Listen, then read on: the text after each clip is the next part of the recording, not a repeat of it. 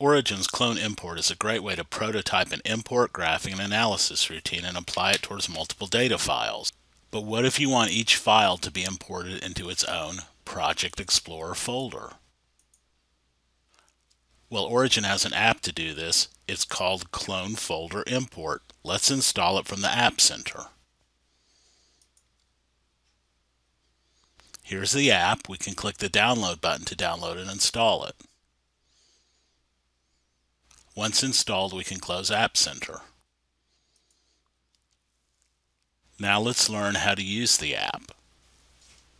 The first step is to make sure we have a subfolder in Project Explorer. I'll add a new subfolder and entitle it Template.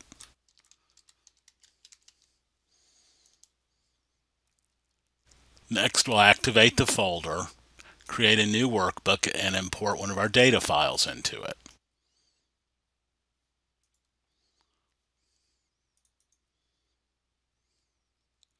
We can then create graphs and analyze the data, a step I'm going to skip here in the interest of time. With our data imported and analyzed and graphs created, we can now use the app.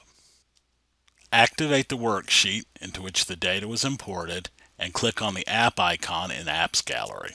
In the dialog, we can see the active folder, active window, and our selected datasheet listed. Next, we can choose how we wish to name the clone folders. We can name them by file name or enumerating the name of the template folder.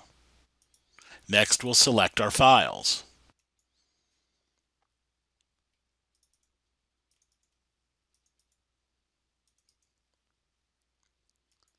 If you accidentally select the wrong file, you can click the trash can button in the file list to delete it. The next step is to click the Run button. When we click the Run button, the app will import each file into a cloned copy of the template folder.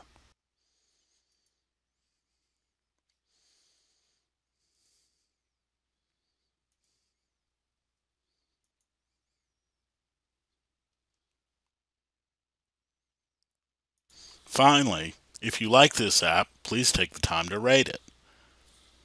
Right-click on the app icon in the Apps Gallery and select Send Feedback.